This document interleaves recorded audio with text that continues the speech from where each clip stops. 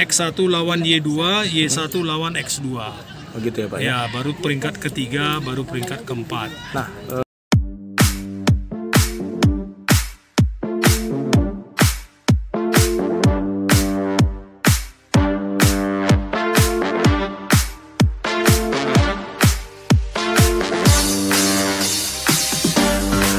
Oke, dengan skambal dua tipe yang hijau kali. Pak gimana nih Pak? Eh, tuan rumah katanya Sriwijaya nih. Kalau untuk yang di pool Sumatera gimana kira-kira Pak? Ada keputusan dari PSSI atau PT LB Pak? Baik, terima kasih. Barusan saya dengan Pak Mulyadi melaksanakan mengikutilah eh, virtual meeting. Dengan PCC dan LIB. Adapun beberapa poin yang disampaikan bahwa eh, rencana kick off tanggal 26 September itu tidak berubah dan Ya. tetap sampai dengan 22 Oktober Hmm. untuk putaran pertama. Oke, putaran pertama. Berapa hari tuh Pak jadinya Pak? Lebih kurang satu bulan. Lebih kurang satu bulan. Ya, untuk putaran kedua Ya. tanggal 1 November sampai dengan 26 November Ah. untuk putaran kedua. Nah, mengenai venue dan tempat Ya. tadi dibagi menjadi empat. Grup A itu Sriwijaya, Ya. Gelora Jakabaring, Palembang. Palembang. Grup B Dewa United, Duh. Stadion Madia Senayan. Ya. Grup C Persis Solo, Stadion Manahan Solo. Solo. Grup D Kalteng Putra Pelangkaraya untuk daerah Kalimantan dan Papua. Oh. Jadi supaya venue-nya dekat dengan daerah yang Masing-masing ya, ya? masing-masing.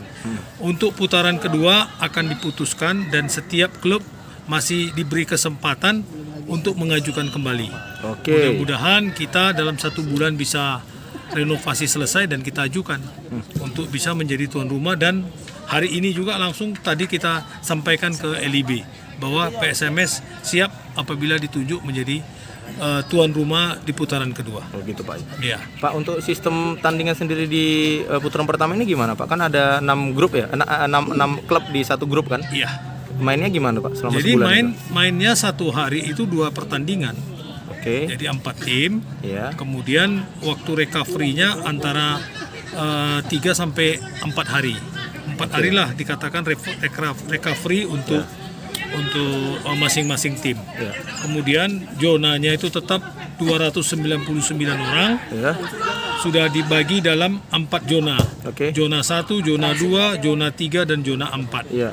Kemudian zona 4 itu mencakup unsur pengamanan 63 orang.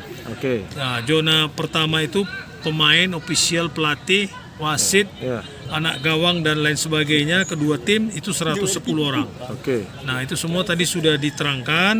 Ah, mulai besok sudah bisa didaftarkan sampai dengan tanggal 10 Oktober. Oke, oke, oke. Jadi Pak, Ah, kemudian tadi juga dibahas tentang vaksinasi. ya itu dia. Vaksinasi tadi dibahas, mana pemain yang belum divaksin dipersilakan. Kemudian ada juga yang bertanya bagaimana dia sudah vaksin namun waktu input dokumennya di Peduli Lindungi itu salah input nik KTP-nya. Ya, ya, nah, ya. itu juga tadi dipertanyakan tapi sepanjang memang masih bisa diupayakan, upayakanlah dulu tapi sudah ada solusi dan jalan keluarnya. Kemudian mengenai vaksin ada yang sudah vaksin yang apa eh, model lain ternyata itu kalau divaksin itu tunggu dua bulan. Sementara sementara ini vaksin vaksin Sinovac. Iya, iya, iya. Ah, itu juga tadi dipertanyakan. Kira-kira mengenai meeting tadi itu semua, kemudian uh, usulan dari PSMS sama, yaitu mengenai uh, bola pertandingan.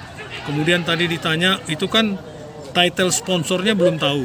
Oh ya, Ah, nanti total total pertandingan itu 136 pertandingan. total untuk Liga 2 kesel- Iya, keseluruhan ya. keseluruhan. Kemudian nanti untuk fase selanjutnya apabila kita lolos di grup A, di grup B, di grup C dan di grup D Ya. sudah ada siapa lawan siapa sudah bisa tahu. Oh, langsung crossnya jelas Iya, Pak ya. jelas. Jadi A- kalau yang A ketemu siapa Pak?